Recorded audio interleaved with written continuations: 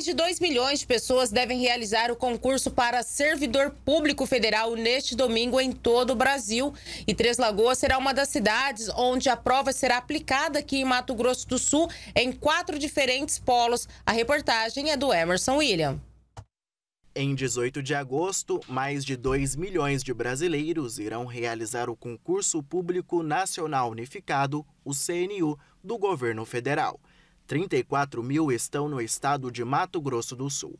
A prova, que estava prevista para ocorrer em maio, foi adiada por decisão do Ministério de Gestão e Inovação em Serviços Públicos devido aos desastres naturais causados pelas chuvas no Rio Grande do Sul. Quatro cidades sul-mato-grossenses vão sediar a prova: Campo Grande, Corumbá, Dourados e Três Lagoas. Os locais já podem ser consultados na página do participante no site da Fundação Sesgran Rio. Três escolas estaduais e uma universidade privada serão os polos do exame para mais de 2.500 candidatos que devem fazer o CNU aqui em Três Lagoas. Serão seis horas de prova. Os portões serão abertos às seis e meia da manhã e ao meio-dia, após a pausa para o almoço. O coordenador geral de logística do concurso, Alexandre Retamal, orienta os candidatos sobre o que levar e o que não levar para o local de prova. É importante que ele leve o documento de identidade, com que seja um documento com foto, né?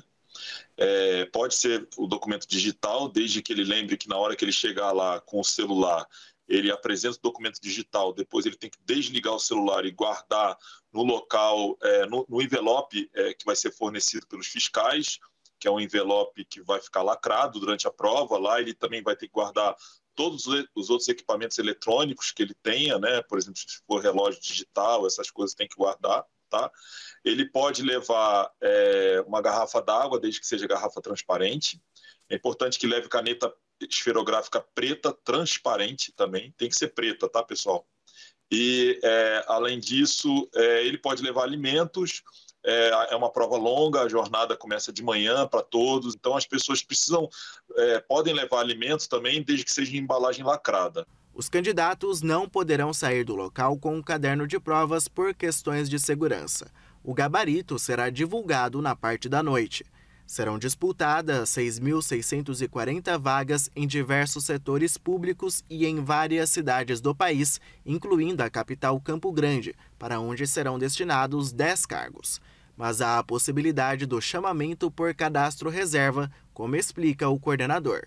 Como sempre acontece em concursos, né, há a possibilidade das pessoas serem é, é, chamadas para vagas adicionais que podem ser liberadas né, de forma a critério né, dos órgãos e também conforme é, o orçamento né, é, dos órgãos. É, é, se, pode ser que eles ficando nesse, nesse banco de candidatos, eles ficam no que a gente chamaria de um cadastro de reservas, né, para ser chamados caso vagas adicionais sejam liberadas, mas eles também vão poder ser, é, ser chamados para vagas temporárias, tá?